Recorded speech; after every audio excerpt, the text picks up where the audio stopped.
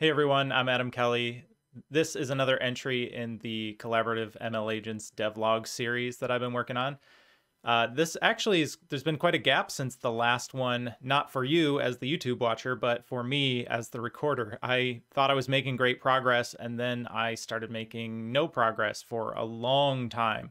And Kayla just insisted that I get on here and talk about it because this has been a real struggle as I've been working through it. And she wanted me to share my struggle with you, the community. So here we are. So I'm going to talk about that. All right, so you've seen this project before in the previous devlog videos. Not much has changed. Uh, I did expand the walls so that it wasn't possible to like sneak around the outside, which I actually did catch them doing at one point.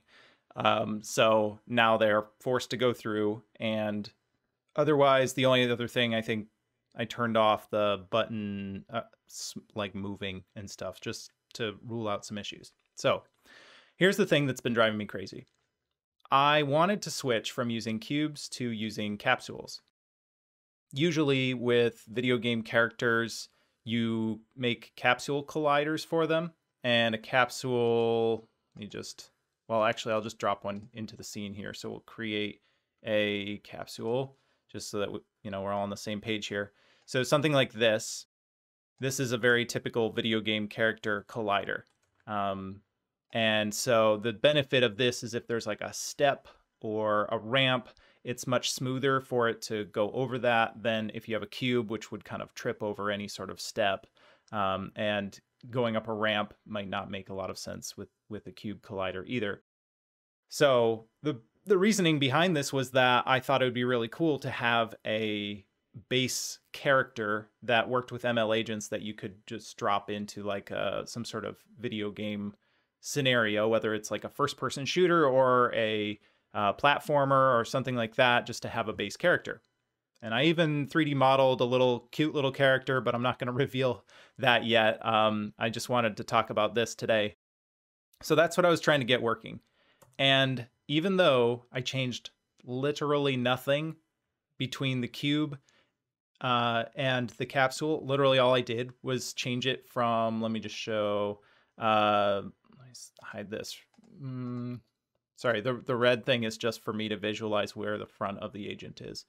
Uh, so I switched from a cube, which you can see it's kind of uh, a little bit dimmer there because it's turned off, to a capsule that's about the same size you can see it from the side. It's it's it's got the same dimensions in this direction. It's just a little taller, so that shouldn't have any impact. Um, and that didn't work.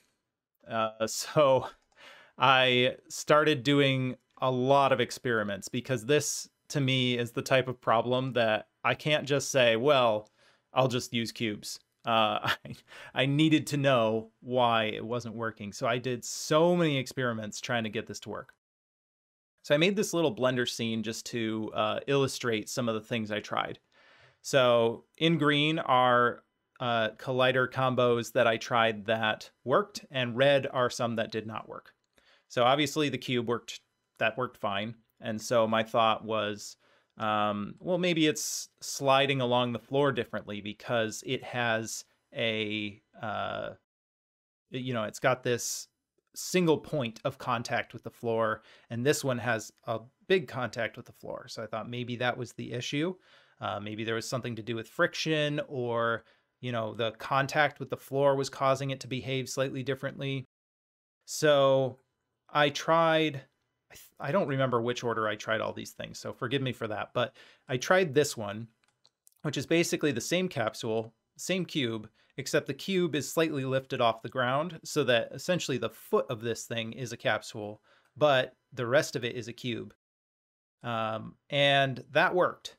So I feel like, or at least at the time, it felt like I had ruled out the the likelihood that it was just this single point of contact being the issue, uh, because if so, then this wouldn't really work.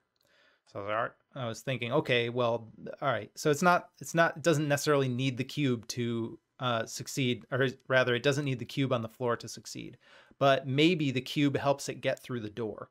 Like if you think about this, if this cube gets stuck in the door when it's closing, it can still slide through because it's already got the majority of its or the entirety of its width through the door. Um, but if you have a cylinder and it gets caught with the door closing, then it should be kind of squished out because it's you know its its width is not entirely through yet. And you can kind of see here like how they kind of sneak through um this, this, these aren't trained to high accuracy. You can see that they're kind of sliding all over the place. Um that was another thing by the way that i tried was maybe they weren't moving fast enough or whatever so i i tried lots of different speeds and things and the slower they went the less likely they were to train too even as cubes by the way so that's another issue i have to figure out um, but anyway, back to back to this. So I thought maybe if it needs to have its entire body through uh, to get to slide through, then a cylinder in theory should not work. So I tried a cylinder. Well, that did work. So that threw me off again. So this one has flat bottom and it has a rounded edge here. Uh, and that seemed to work. So it didn't seem to be that. Now, the one thing I'll say is I don't remember how many times I tried the cylinder. Maybe I can check my uh, TensorBoard here and see. I kind of started naming them based on what I was testing. So let me see if I can find the cylinder. Okay, so I did two runs in a row with the cylinder, and it looks like maybe one of them was a no good run. Anyway, all right, so I had one run that was with the cylinder. That seemed to work. So I, I, guess I didn't test this multiple times in a row to make sure it was consistent. Maybe it was just a fluke that it got it. But Anyway, um, another test I did was a sphere. The sphere didn't work. I did a test with a very small foot, basically. So it wouldn't topple over because it was limited in how it could rotate. But in theory, it should be a flat bottom, kind of like the cube, and have the capsule, but it didn't have very much surface area, and that didn't work either.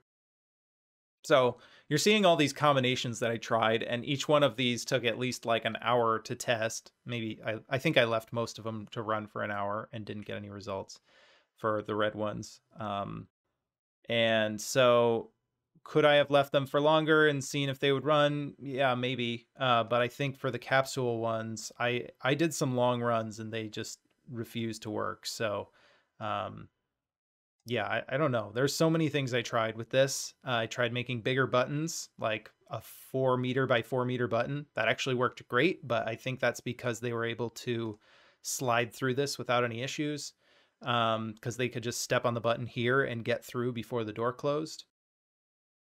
One interesting thing, sort of related to that, was I made the door close much faster and that actually did train pretty well. That one, let me see, uh, looks like this.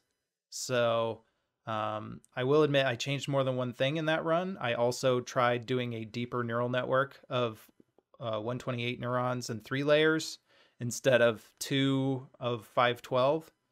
And, but then I tested it with the, the door speed uh, back to the original speed and it went back down to the, what you're seeing in the screen one. So I don't think it's the, I think the door speed actually does have quite a bit of influence there. So I need to do more experimentation there. But that doesn't really explain why they're not uh, getting through or they're not learning with a slow door. So the best thing I can come up with at this point is that there's something wrong with the actual training itself. Um, that perhaps my rewards aren't good enough or perhaps this challenge is in need of some better hyperparameters or something, so I might need to tweak more around there. Um, I did some experimentation with demonstration learning, and that seemed to speed up the cubes, but I don't recall if I tried that with the cylinder or with the uh, capsules yet.